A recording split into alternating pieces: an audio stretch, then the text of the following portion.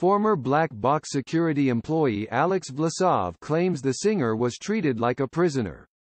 A former member of Britney Spears' longtime security team claims the pop star's bedroom was bugged with an audio recording device that monitored her personal conversations at home. The New York Times presents Controlling Britney Spears documentary aired on Friday on FX and Hulu. The documentary, directed by Samantha Stark and produced by Liz Day, is a follow-up to Framing Britney Spears which aired earlier this year. It involves bombshell claims about the control Britney's team had over her day-to-day -day life under the 13-year conservatorship that she is desperately fighting to get out of.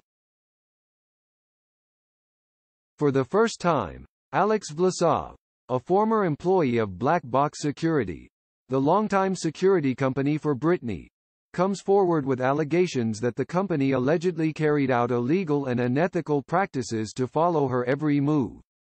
Vlasov claims the company planted an audio recording device in the toxic singer's bedroom that recorded her conversations with her boyfriend and kids.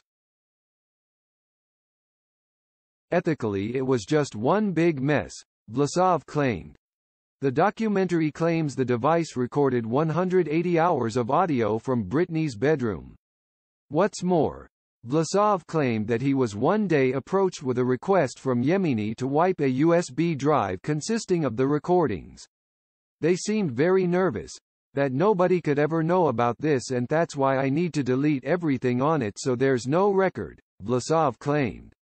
Not wanting to be complicit of any potential crimes made by Black Box, Vlasov said he kept a copy, I don't think it was a coincidence that days before she was meant to meet with a court investigator, he added.